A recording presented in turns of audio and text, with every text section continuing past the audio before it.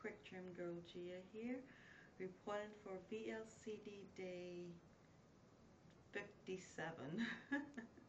57, yes. Um, okay, I'm not going to do stats today because Gia was a very, very bad girl this weekend. She was really, really bad. Um, I had Japanese, I had sushi, I had marshmallows, I had uh, peanut brittle. I was really bad. I was really bad. I'm not very proud of myself. Um, however, I am afraid to stand on the scale, so I did not weigh myself today. Um, but I'm back on protocol today, and I'm feeling much better about my cheats, and I'm not really blaming myself too much. um, I have to say thank you to Al Miller 0709 because, girl, yeah.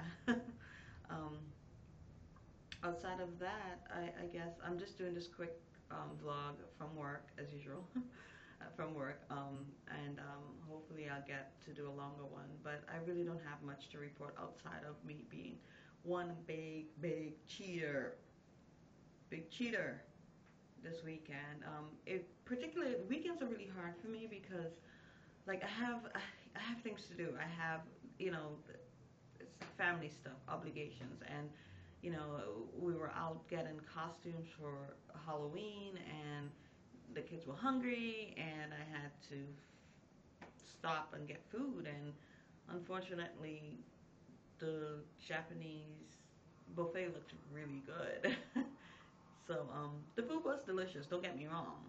I mean, I, it was really good, but it just wasn't what I needed. So, you know, onward and upward.